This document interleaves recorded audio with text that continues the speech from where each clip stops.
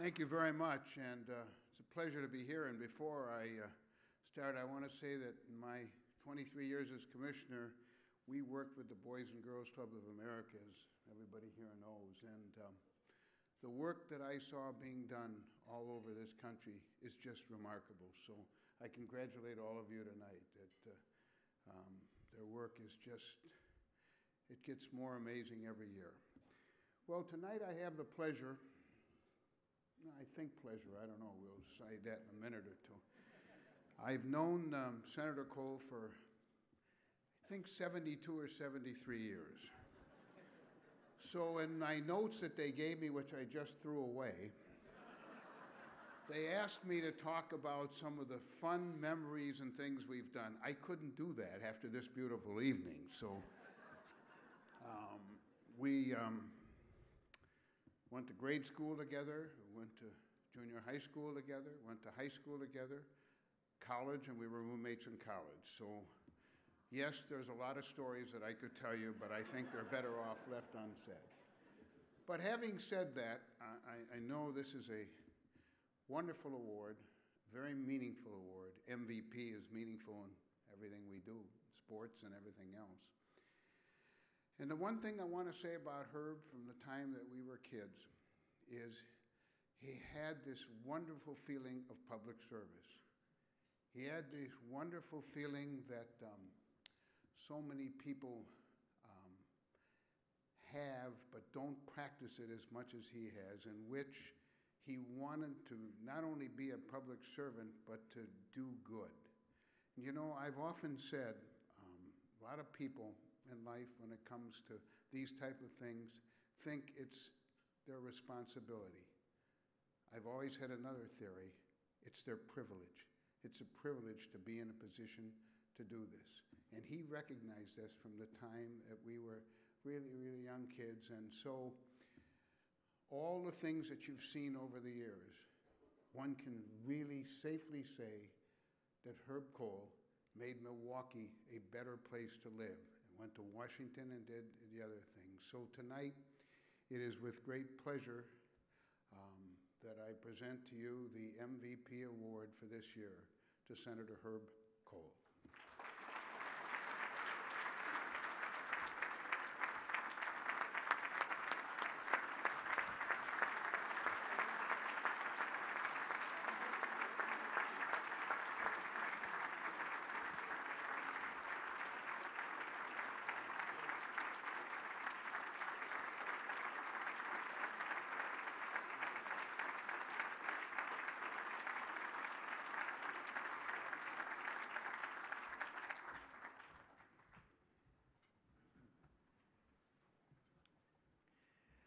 Uh, good evening, and what a pleasure and a privilege it is to be with all of you on this joyous occasion of celebrating the Boys and Girls Clubs of Greater Milwaukee and indeed of America. And I'm so honored also to be introduced by my lifelong friend, as Bud has said, uh, Bud Selig.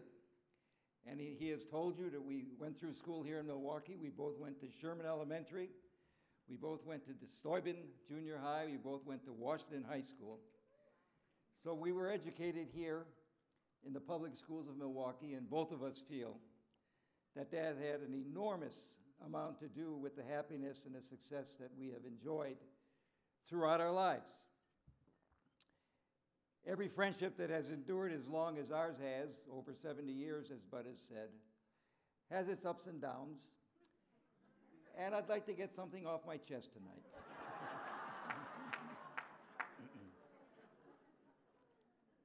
Go back with me in the history books because very few of you are old enough to remember 1945.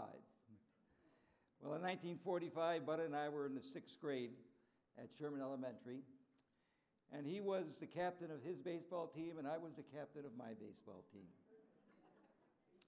So we were on a Saturday morning playing it off for the championship, and we both arrived with our teams at the playground at Sherman. And we started warming up, and all of a sudden, this big, big six foot two individual that I'd never seen before started warming up for Selig's team. and I said to him, Bud, who's this guy? And he said, Well, just a kid from the, from the neighborhood. I said, Well, what happened to Lil Freddie? We love Lil Freddie, your pitcher. and he tells me Lil Freddie couldn't come because he wouldn't drink his orange juice in the morning. His mother wouldn't allow him to come. So we had a big argument naturally. I didn't want to play, and he said, Come on, let's play ball. And finally, I figured, What the hell, let's play ball. So sure enough, this fella, Jack Halser, comes out there and he pitches a no hitter. Struck out all 27 of our kids. Selig's team won nine to nothing. Jack Halser disappeared. And that's what happened that day, back in 1945. I've always wanted to get it off my chest.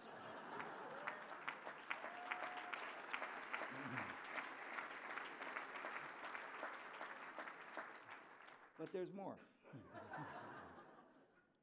50 years later, who becomes the commissioner of baseball? Bud Selig. And what's his num- what is his number one responsibility? To protect the integrity of the game.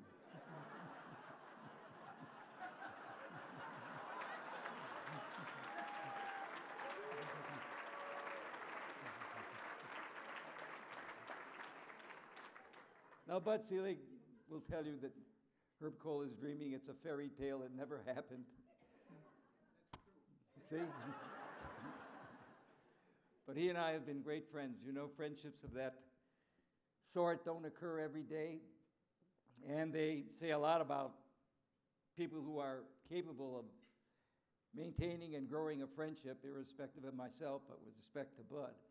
He has a capacity for friendship, capacity to care about other people, other men and women, and in our relationship, he has certainly demonstrated it.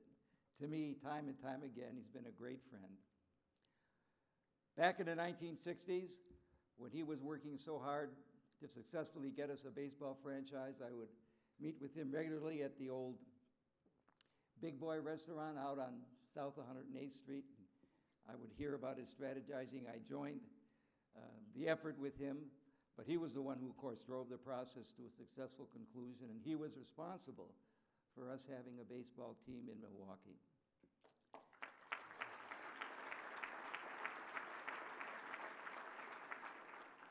So thank you, Bud. I'm honored that you're here. And finally, I'll tell you, I forgive you.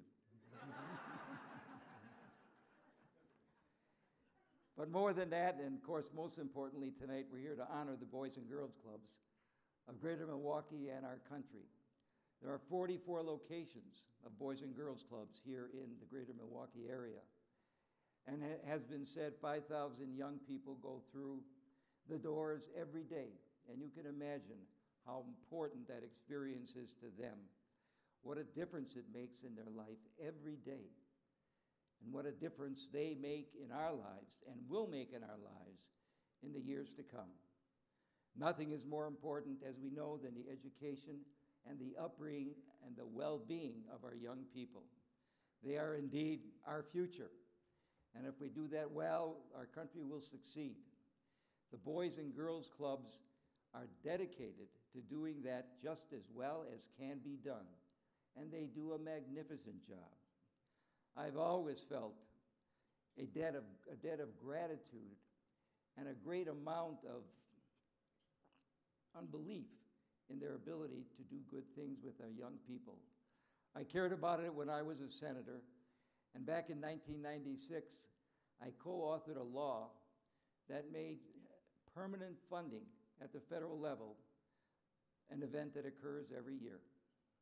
And since 1996, the government, the federal government, has allocated over $1 billion to the Boys and Girls Clubs of America.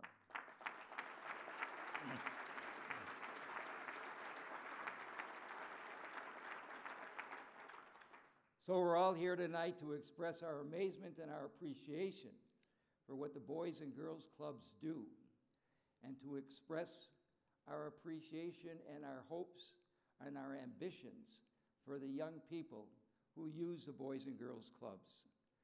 We make a difference in their lives, and there's nothing more important than that. It's good to be with you tonight. Thank you for coming, and let's hope for better and better things from the Boys and Girls Clubs. Thank you so much.